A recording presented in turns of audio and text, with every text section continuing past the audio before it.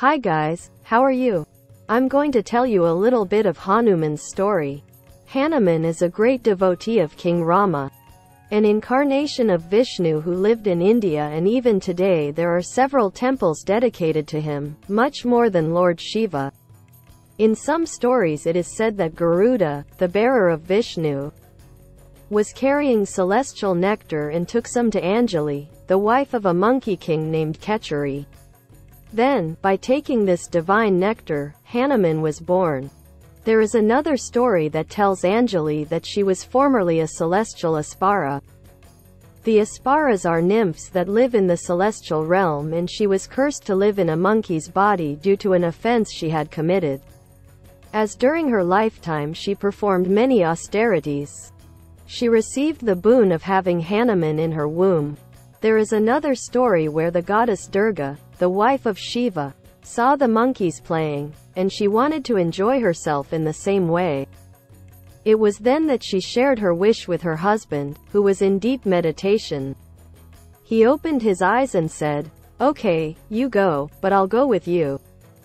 And the two were playing in the form of a monkey until Lord Shiva lost his energy in the form of semen and under the trees was the wind god Vayu.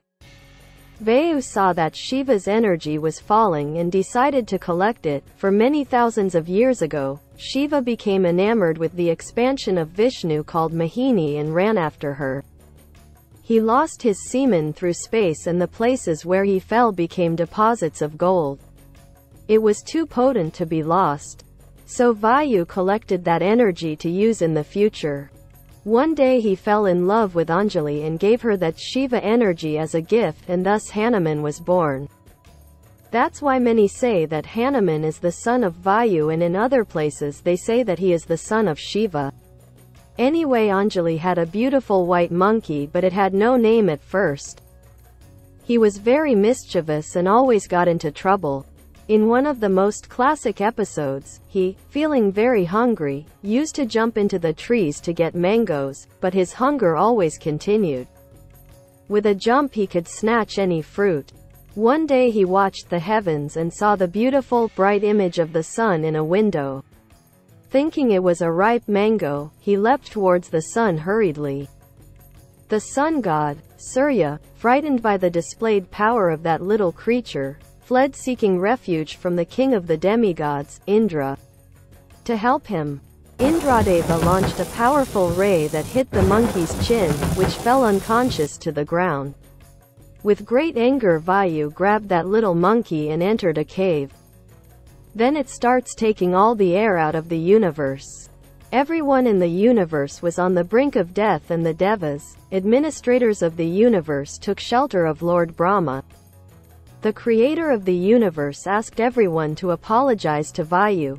But when he found the wind god he told all the devas that they had committed offense to Hanuman. Hence they needed to apologize to him. The devas apologized and each gave a blessing to that little white monkey. Lord Brahma himself bestowed the boon that no one would be able to kill him. He would always emerge victorious from any confrontation. The laws of nature would never affect, and he would have full knowledge about fruits, roots and medicinal herbs.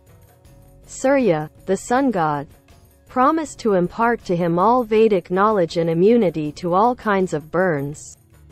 And then the other demigods joined in with blessings. And the sun god asked that monkey, who was called Hanuman, means broken jaw, to stay by his side learning the science of the Bhagavad Gita which the god himself had learned millennia ago from Krishna himself, the Supreme Lord. It just so happened that Hanuman with so many powers became even more mischievous and he ended up causing a lot of disturbance to all the priests they got so very angry they said that monkey was disturbing all the peace and they made all the blessings fall asleep and he could only use one future when he really needed it.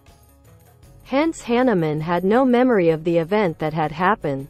Oh but this story continues. If you want to know more about Hanuman and the stories of India, like the video and subscribe to the channel. Until later.